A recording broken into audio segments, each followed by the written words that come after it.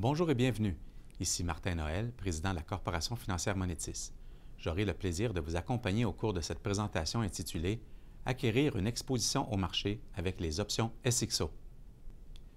La sélection des titres par les investisseurs particuliers est une étape importante dans la construction de portefeuilles diversifiés pouvant répliquer les fluctuations du marché boursier. Il est possible de construire un tel portefeuille avec les options SXO qui offrent le même niveau de diversification qu'un portefeuille de titres, mais à un coût moindre puisque le nombre de transactions est beaucoup moins élevé avec les options SXO. Les options SXO offrent également un effet de levier important puisque la prime requise pour les acquérir ne représente qu'une fraction du prix des actions. De plus, le risque des options SXO est limité à la prime payée. La sélection des options dépend des anticipations des investisseurs. Par conséquent, un investisseur qui anticipe une hausse du marché achètera des options d'achat, alors qu'il achètera des options de vente lorsqu'une baisse est anticipée. Le choix du mois d'échéance dépend du temps que l'investisseur croit nécessaire pour que sa stratégie se réalise. Un investisseur qui anticipe un mouvement à court terme achètera des options échéant à court terme. La prime des options à court terme est moins élevée que les options à long terme puisqu'il y a moins de temps à courir jusqu'à l'échéance. En contrepartie, comme les options à long terme offrent plus de temps pour que la stratégie se réalise, elles coûtent beaucoup plus que les options à court terme. Veuillez prendre note que si la stratégie anticipée ne se matérialise pas et que l'option vient à échéance sans valeur intrinsèque, elle expirera alors sans valeur. Une fois la sélection du mois d'échéance effectuée, l'investisseur devra évaluer l'amplitude de la hausse ou de la baisse anticipée. On se rappellera que le prix de levée représente le niveau de l'indice auquel l'investisseur peut acheter ou vendre la valeur sous-jacente. La sélection du prix de levée devra tenir compte de l'amplitude des fluctuations qui sont anticipées par l'investisseur. L'investisseur réalisera un profit seulement si l'option choisie a une valeur intrinsèque à l'échéance de l'option. À l'inverse, si l'option ne possède pas de valeur intrinsèque, elle viendra alors à l'échéance sans valeur.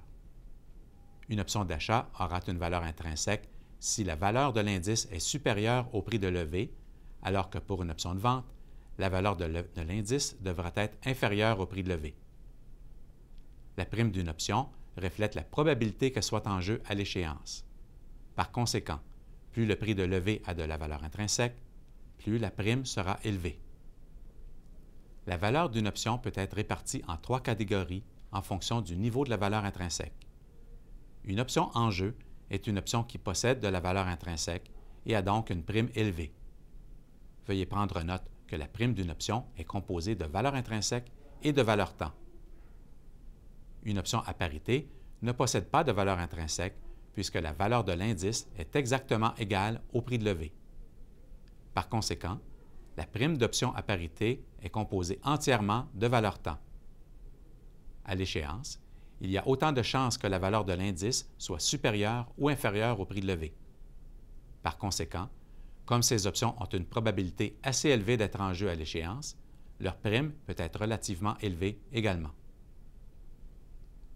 Les options hors jeu n'ont aucune valeur intrinsèque puisque le prix de levée est distant de la valeur de l'indice.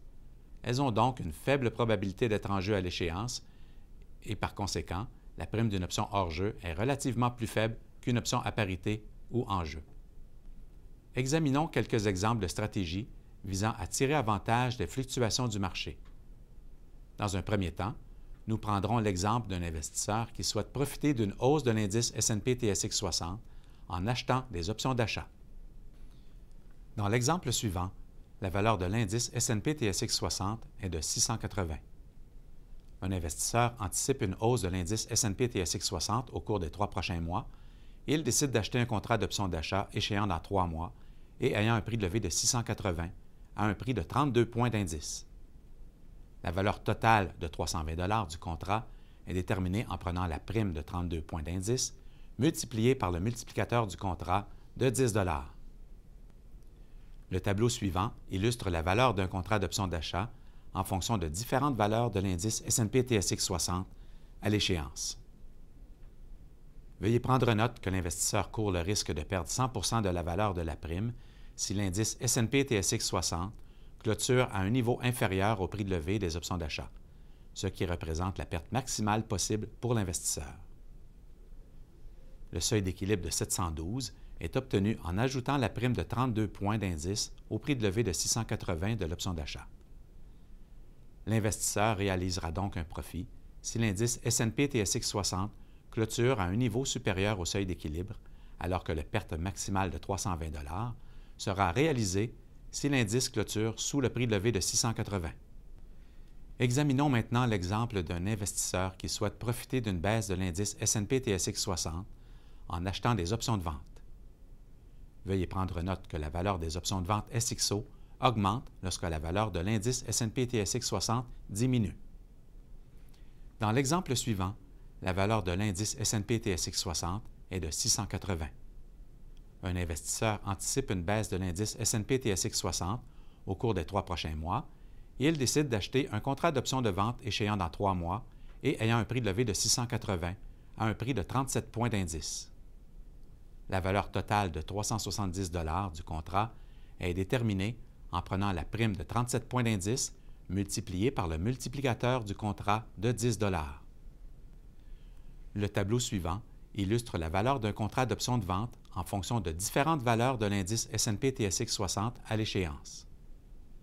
Veuillez prendre note que l'investisseur court le risque de perdre 100% de la valeur de la prime si l'indice S&P TSX 60 clôture à un niveau supérieur au prix de levée des options de vente, ce qui représente la perte maximale possible pour l'investisseur. Le seuil d'équilibre de 643 est obtenu en soustrayant la prime de 37 points d'indice du prix de levée de 680 de l'option de vente. L'investisseur réalisera donc un profit si l'indice S&P TSX 60 clôture à un niveau inférieur au seuil d'équilibre, alors que la perte maximale de 370 sera réalisée si l'indice clôture à un niveau supérieur au prix levé de 680. Examinons quelques scénarios possibles à l'échéance des options. Le premier scénario illustre le cas où les anticipations de l'investisseur se matérialisent. Les options seront alors en jeu et seront automatiquement exercées à l'échéance. Veuillez prendre note qu'il n'y a pas de livraison physique d'actions et qu'un règlement en espèces en dollars canadiens sera plutôt effectué. À l'inverse, dans le cas où les anticipations de l'investisseur ne se réalisent pas et que l'indice S&P TSX 60 progresse dans le sens opposé, les options hors jeu viendront alors à l'échéance sans valeur. Les investisseurs pourraient tout simplement fermer leur position avant l'échéance en vendant les contrats d'options afin de réaliser un gain ou de limiter une perte. Un autre scénario met en lumière la possibilité de rouler la position. Prenons l'exemple d'un investisseur qui voit son scénario se réaliser mais en prenant un peu plus de temps que prévu. Dans une telle situation, un investisseur pourrait rouler sa position en vendant les contrats d'options détenus et en achetant simultanément un même nombre de contrats ayant une échéance plus lointaine. En plus d'une échéance plus lointaine, l'investisseur pourrait choisir un prix de levée différent qui sera fonction du niveau de l'indice au moment de rouler la position. En terminant, voici quelques points à prendre en considération lors de la négociation des options SXO. On se rappellera que le détenteur des options peut en tout temps fermer sa position avant l'échéance en revendant les options détenues pour réaliser un profit ou limiter une perte. Le dernier jour de négociation des options SXO est le jour précédant la date d'échéance. Le prix de règlement des options SXO est déterminé au niveau d'ouverture officiel de l'indice S&P TSX 60 le jour d'échéance. Dans le cas où le détenteur des options choisit de garder les contrats jusqu'à l'échéance, le règlement final se fera par un versement en espèces qui sera fonction de la valeur intrinsèque de l'option à l'échéance. Pour les options hors jeu, les options viendront alors à échéance sans valeur. Merci de vous être joints à nous et à la prochaine.